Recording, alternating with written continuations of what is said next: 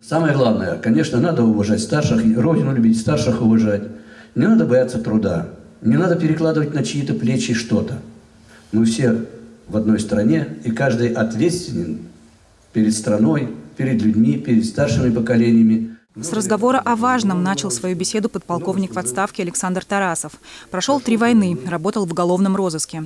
Он не понаслышке знает о труде, чести и доблести. Вот уже 20 лет занимается патриотическим воспитанием молодежи. В преддверии Дня уголовного розыска встретился со старшими классами школы номер 12, чтобы поговорить о профессии, будущем страны и честно ответить на все вопросы.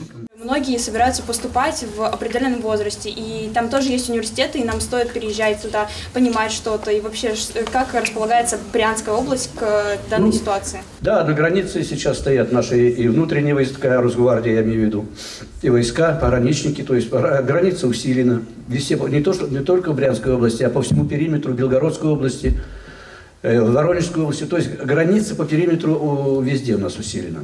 Какую профессию выбрать и где учиться в такой большой стране, как Россия? Вопрос для старшеклассников актуальный. Александр Тарасов рассказал про свой опыт и специфику работы в уголовном розыске. В этой профессии должен быть человек, во-первых, ответственным, порядочным, должен быть физически подготовлен, должен э, обладать э, качествами как бы интуиции и так далее, что у него ну, должен, э, то есть он должен, а, у него мысли должны опережать дело.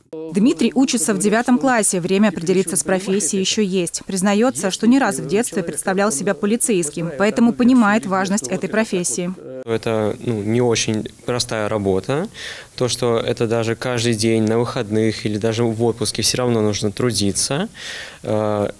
Бывают такие случаи, что приходится работать беспрерывно, то есть может быть такое, что день-два, то есть без остановок прям работать. Беседа получилась живой и интересной. По словам Александра Тарасова, молодежь сегодня активная, занимаются спортом, интересуются историей родной страны.